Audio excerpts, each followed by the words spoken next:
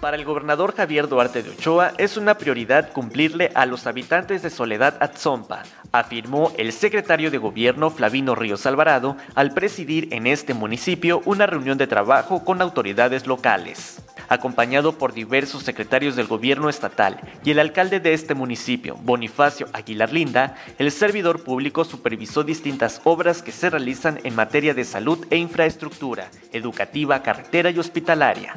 Posteriormente, en el Palacio Municipal, las autoridades estatales se reunieron con los agentes municipales y jueces de localidades, donde intercambiaron puntos de vista, por lo que el municipio de Soledad Atzompa agradeció la respuesta de los funcionarios estatales a las solicitudes de los habitantes de Soledad Atzompa.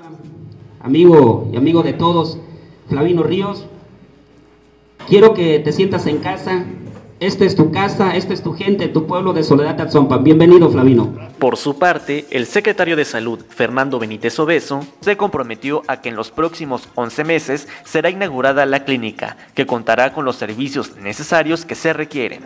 La clínica que va a constatar de varios servicios, son nueve consultorios, el área de toco, eh, que es importante para las mujeres embarazadas, el área de rayos X, los servicios indispensables para toda su comunidad.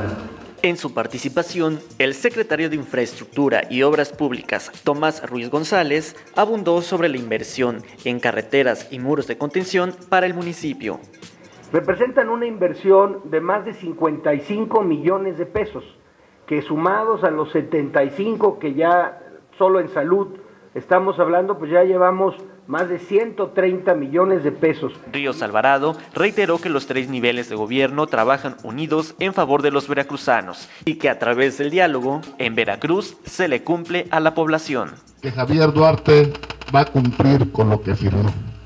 Y no es la primera ocasión que vamos a venir a Soledad Achompa.